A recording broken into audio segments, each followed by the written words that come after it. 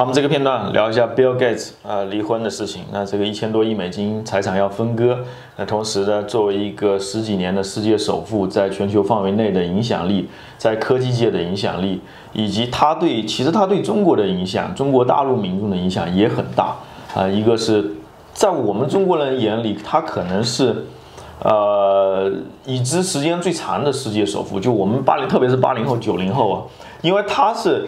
呃，给我们感觉，呃，资本主义世界很很自由，很 open 啊，这个努力奋斗，然后靠精英的这个才华啊，就能够呃形成变成世界首富。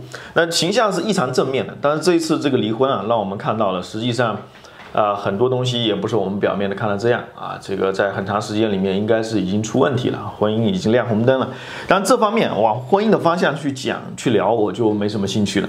我主要是说啊，这个。呃，接着我们前面的这个话题啊，去聊，就是，呃，实际上的话，我们看现在这几年，最近五年、十年啊，就是中国也好，美国也好，我们说，呃，是全球这个财富积累程度最快啊，或者是最集中，中国是最快，美国是最集中的，呃，这两块领域，但是都出出了一些问题，什么呢？钱太多了，钱太多，多到一种什么程度呢？第一个是有钱的时间太长了，你看比尔盖茨他才。结婚的时候就已经是亿万富翁了啊！他在结婚的时候到现在已经有二七年了，二七年。在之前几年就已经是亿万富豪，三十年过去了，做世界首富都一二十年，所以这个婚姻啊，可能对他来说是一个枷锁啊，对穷人来说是一一起过日子啊，这个搭伙过日子，能够省钱，提高呃效率啊，用最少的钱能够哺育孩子，能够最快提高这个呃生活品质的一个办法。但是对于他们来说，应该说是呃时间已经足够长了，他们能够产生的这个效率啊，确实是可能是为这个世界做贡献了，就是呃处理他们的基金会。的事情，但是我们回到刚才说的，包括我们前面节目提到的这个事情，就是资本过度固化的问题，就发现很多方面，实际上不单是 Bill Gates 他们呃家要离婚，哎，我们刚刚说的这个中国像郑爽他们这个夫妻是吧？呃，这这这样子，包括中国整个娱乐圈，哎，他这个攫取的财富也非常的庞大，是不是？是不是说稍微多了一点？或者说它的分配是不是平衡，对不对？那么我们剧本剧组是不是可以多拿一点？包括群演是不是可以多拿点？道具是不是可以多上点心？这些是要调整的啊！这个是中国成长中的调整，或者说娱乐圈里面它跟其他行业，比如说它下游呃分分发的这些行业，他们的这个利益调整又是否合适呢？那这个是中国成长中的利益调整分配。但是西方的话，它有更大的问题，它存量竞争太存量太庞大了。就我们刚刚说，中美是两个方向，美国是存量大，是吧？中国是增长快，增长快容易什么呢？呃，这个不平衡。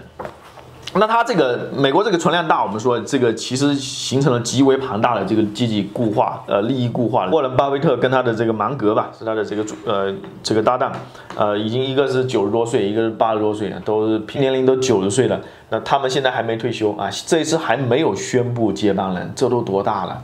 咱们不是说这个。呃，不能年纪大点是吧？都是九，平均年龄都九十多岁了，这个确实啊，这个是作为世界排名前十的这个富豪啊，有有一点有一点年纪太大了。然后我们看这个世界，特别是西方的这个富豪的这个榜里面啊，不管是法国的呀，包括说。呃，这个日本呢，这些德国的呀，很多都是老式的家族啊，老式的这些年纪很大的人，呃，哪怕是创一代，年纪也很大了，像科氏兄弟啊，他们这些。那这里的话，我们说，这时间长了，就有一些影子出来。我们前面说了，这个爱泼斯坦，它其实就是这个影子。就资本主义世界的话，我觉得它也是迎来一个内讧。那么你看，他一离婚啊，这个财富就啊，有一人一半嘛，或者说他拿三分之一、四分之一，比尔盖茨就削弱很多了。这其实就是在啊。这个在融化的这么一个过程，但这个融化实际上有更大的融化。我觉得的话，爱泼斯坦是一个更大的融化。爱泼斯坦事件是我觉得是标志着资本主义世界溶解的，呃，一个影子，精城影子，精城溶解的一个过程。爱泼斯坦他当然不是正儿八经的这个权力层啊，是一个很比较邪恶的这么一个呃一个人物。那但他这个是。呃，跟整个西方啊，我们说不单是资本家啊，包括说这个英国的皇室皇族啊也有牵连，包括说这个霍金这一类顶尖的这个科学家，呃，美国顶尖大学里面的顶尖的这个呃科研呃科学家科研人员也都是有联系的，包括说很多的这个呃西方，特别是美国方向啊，这个法国方向的政客也都是有牵连的，所以它的这个脉络是非常之广的。对吧？所以说我们看到这个爱泼斯坦它的瓦解，包括说这之后啊啊，我觉得整个西方的这个精英层过去四十年啊太稳固了啊太稳定了。那么之后呢，我觉得这个会越来越快，会来越越来越加速，甚至啊我有一个另一个方向一点的猜测，比如说 Bill Gates 他们夫妻啊这个。呃，做基金也好啊，包括说去做慈善也好啊，包括说做很多事情啊，呃，有一种猜测是认为他们在避税，对吧？那如果说有避税的这个想法之后的话，也没有什么必要了，因为什么呢？美国肯定要向全球范围内。征税啊，这个很难跑得掉。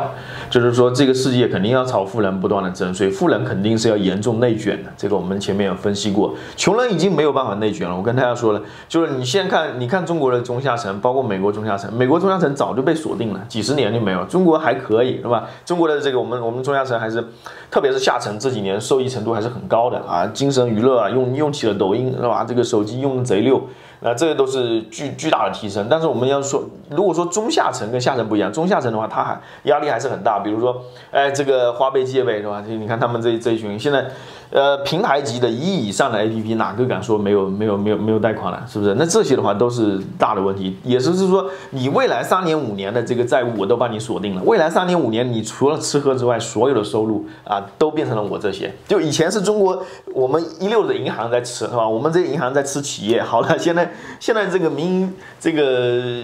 经营的，就就是这些平台的这些企业 APP，包括这些私营的资本家，他们在做什么？我说中国的这些私营资本家，他们在什么呢？向银行学习，银行是吃这些中小企业，吃这个呃这这些各行各业，对不对？那这些平台企业就吃这个中国的中下层啊，就是你我让你们一年百分之二十、百分之三十的利息，你们就给我交钱吧，啊，是一样的，就我帮你们未来五年、十年的五年的这个时间的这个。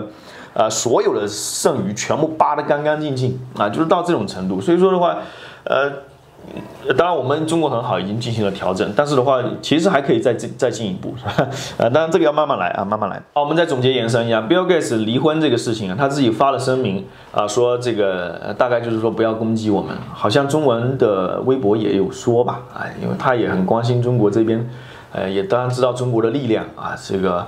呃，不希望自己的家庭过分的卷入，然后官方声明特别的官方啊，这个措辞非常的呃呃严谨，所以我们也没有必要往这个角度去理解，呃，去说他既然不想那么那么不想被人知道，是不是？但是我们说这个精英层，我们不说他们很好。啊，不想把他们想的那么坏，但是好估计也好不到特别好啊，好不到哪去。说他们爱环保啊，然后自己就省吃俭用嘛，我估计也没有啊。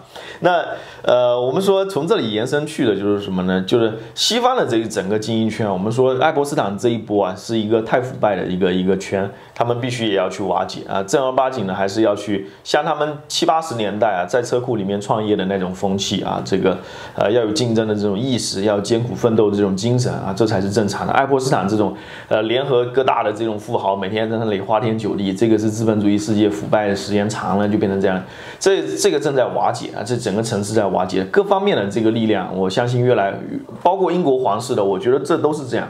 就他们在世界所有的这种正冠冕堂皇，就是我们的婚姻很很幸福，我们的财富来的很正当，我们的地位全球地位是最高的。啊，这些都不复存在了，因为这里还有一个因素，我们中国也崛起了，对不对？你你再怎么装，是吧？你这个你这西方国家要竞争的话，你的税收得提上来，对吧？你再装再装的话，你们激烈内卷的情况下，你就装不下去。